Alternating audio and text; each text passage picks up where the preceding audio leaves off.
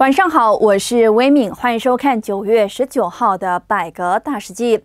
前天，乌统主席阿莫扎西再度要求尽早举行大选，甚至说水灾也可大选。而这番言论除了遭到反对党人士一片挞伐，如今就连同样来自乌统的通讯部长安努亚穆沙也加入了炮轰行列。他表示，水灾时不合适举行选举，因为当下可能需要动用更多的政府机关来整拯救人命和财产，最终会影响民主和政府的功能。他提到，所有人都必须知道，举行大选的目的就是更好的实施议会民主，而选举之时出来投票的便利和安全问题都必须被考量。他补充，如果在不合适的时机举行选举，而且影响了投票率，这会给国家带来不好的声誉，政府会被认为只是代表一小群人，而不是代表全全名。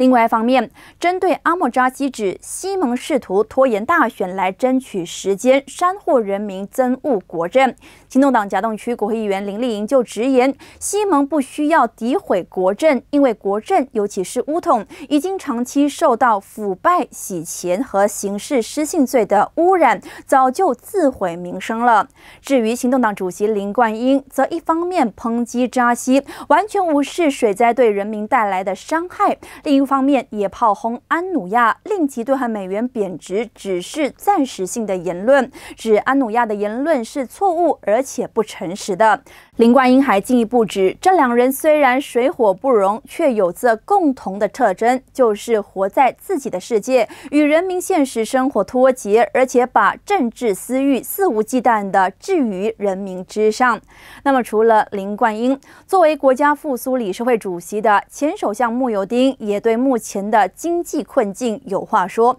他在脸书发文告表示，令吉贬值问题没有受到重视，而首相似乎没有解释政府参会采取哪一些措施来阻止令吉贬值。他也称，如果首相还是不能够很好的管理经济和国家，那么穆友丁觉得最好的方式就是解散国会，举行大选，以便让人民选出一个更有效率、有爱心和没有腐败的新政。府，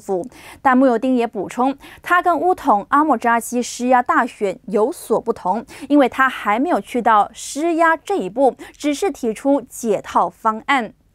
那么提及大选，前首相马哈迪就呼吁人民出来投票。他今天在脸书贴文指出，如果人民在来届大选不出来投票，那么很不幸的，国家将由贪污的政党胜出，并且组成新政府。到时候国家将继续遭到破坏。身为祖国行动筹委会主席的他，也不忘呼吁人民把票投给 GTA，指 GTA 是人民在乌统以外的选择。他还说，作为单一族群的政党，G。T A 将会公平对待他族，并将建立一个多元种族政府。无论如何，首相伊斯玛沙比利今天表示，会在本周三的内阁会议讨论全国大选和经济管理被指失败的课题。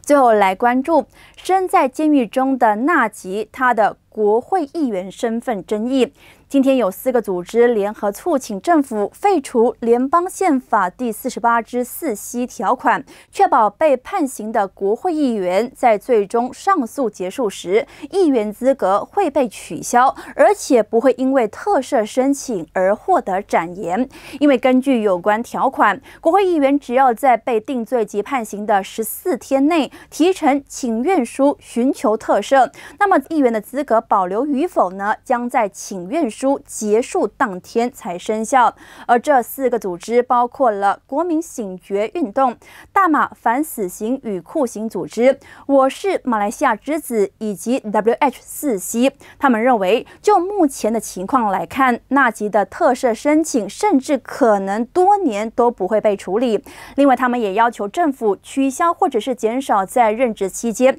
被判刑事罪名成立的部长、议员或者是公职人员的养老金权利。今天的百格大事记到此，感谢收看，也记得订阅支持百格。